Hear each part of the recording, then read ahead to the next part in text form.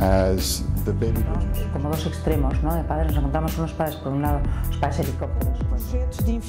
Y esto ha sido así, digamos, a partir, o sea, los últimos... que proponemos son ampliación de los permisos parentales.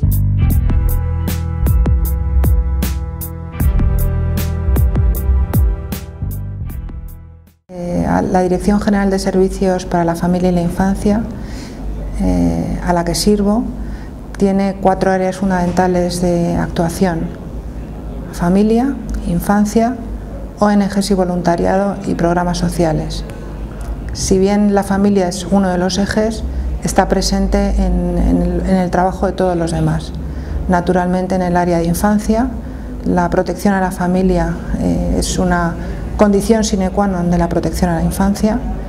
Eh, las subvenciones a ONGs y voluntariado tienen como objetivo, muchas de ellas, el potenciar las, eh, a las familias en el cumplimiento de sus funciones y los programas sociales que desde el Gobierno de la Nación se llevan a cabo, muchos de estos programas sociales tienen incidencia en la política familiar.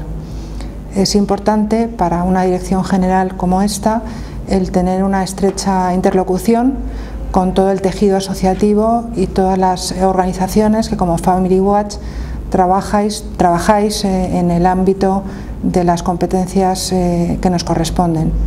Por eso es importante eh, conocer los estudios que lleváis a cabo, las iniciativas que ponéis en marcha, que pueden orientar las políticas que en el Gobierno de España pongamos en marcha en el ámbito familiar.